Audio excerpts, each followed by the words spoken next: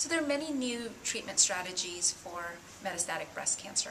In the estrogen receptor positive arena, we have the addition of everolimus to exemestane, which actually results in an improvement in progression-free survival for metastatic estrogen receptor positive breast cancer.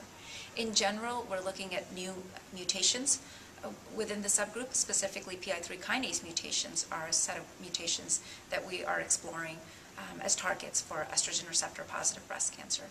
For HER2 positive breast cancer, we have a number of new therapies, including TDM1 or Kadcyla, pertuzumab or Perjeta, uh, lapatinib, which has been around for a few years, and of course trastuzumab.